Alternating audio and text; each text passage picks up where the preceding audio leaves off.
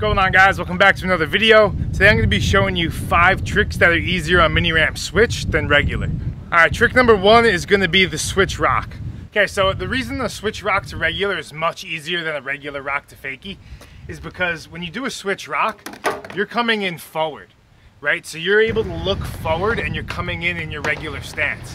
When you do a rock fakie, yeah, like you're, you're riding up your normal stance and it's easy to get into it but then the ramp is completely backwards to you, right? And then you're coming down backwards, so it's just very easy to slip out and not really know what you're doing.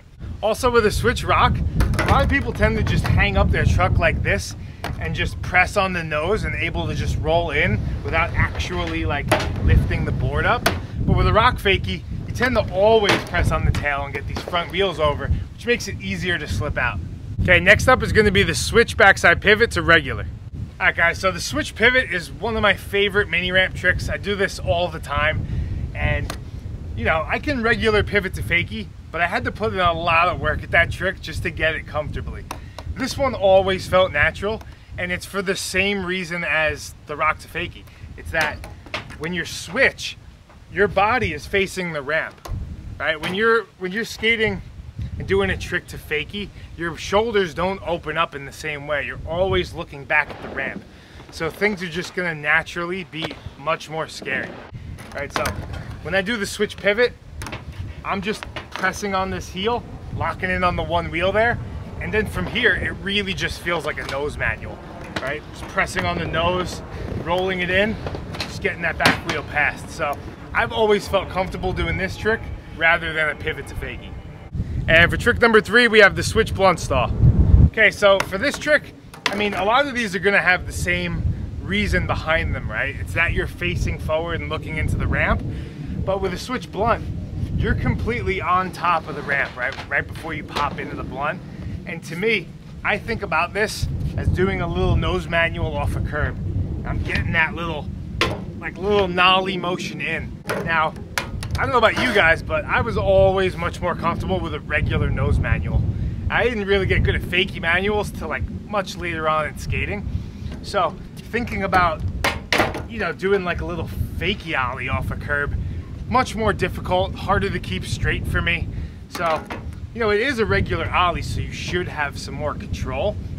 But for me, it's just that like looking right into the ramp and knowing exactly where you are just makes it so much easier. Okay, next up we got the switch frontside rock and roll. So you might not expect this one, right? But a lot of people just are very comfortable with doing a backside power slide. It's probably like, what? it's just very easy to rotate that around, right? For me, when I was learning flat ground, I just practiced backside 180s, landing halfway on the ground and then sliding the rest, right? So for me, that was one of the first sliding motions I ever learned. So that has just carried over in my skating to where anything backside feels comfortable. So now switch, it's more a switch front side, but you're technically doing that same backside motion. So when you hang up your truck and get into the rock and roll and you press on the nose, once you get these wheels up, you're really just doing that little backside power slide motion. And when you do a regular frontside rock, it's like just so much harder to get those shoulders to come around. It takes a lot more to like open up and do all these weird techniques to get it around. But with switch, it feels like you don't really have to do that. Like you can get in with your shoulders square and still somehow just rotate it front side. So for me, that one's much easier. Okay, and the last trick is gonna be a switch frontside blunt stall. All right, so you might be saying to yourself, like, this doesn't make sense. The switch front blunt can't be easier. Like you're landing switch into the ramp. But I don't know, for me, and I can only speak to me personally, when I do the switch front blunt, it's that same backside motion that makes me feel comfortable. And I've seen this with a lot of people.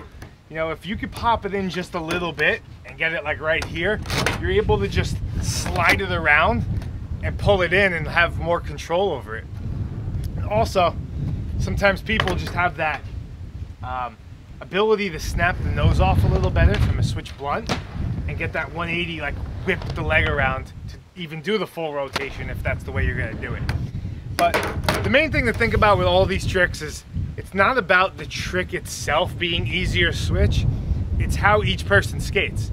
Like some tricks will be easier for you, and some tricks will be harder for me. It's just different for everyone. So the real thing is to just try all these tricks, figure it out, figure it out for yourself, and learn what feels comfortable for you.